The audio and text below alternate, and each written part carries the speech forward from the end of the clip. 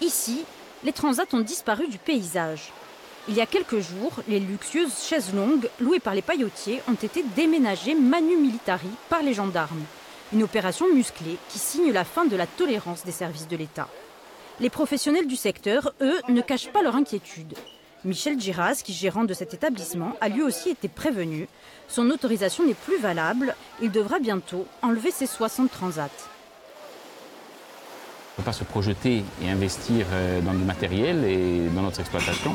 Et d'autre part, il y a aussi dans le contexte euh, actuel et quotidien une pression importante, euh, des contrôles récurrents et la suspicion ambiante qui fait qu'on s'attend à tout moment à voir débarquer des gendarmes.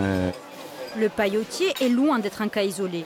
Sur le secteur, 110 demandes d'autorisation ont été déposées, dont 43 ont fait l'objet d'un refus de la part des services de l'État. Une rigueur qui est loin de faire l'unanimité.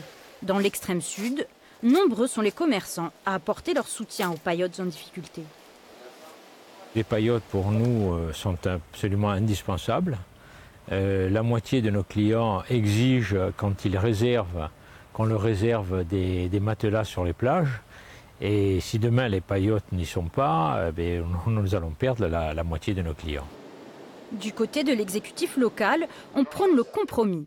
La loi doit pouvoir s'appliquer sans mettre en péril l'économie touristique. Il faut savoir raison garder, observer réellement ce qui se passe sur le terrain avec l'ensemble des parties prenantes, se mettre d'accord véritablement euh, sur ce principe d'utilisation et euh, la mise en application et le respect véritablement euh, des règles, mais des règles qui sont connues et sues de tous.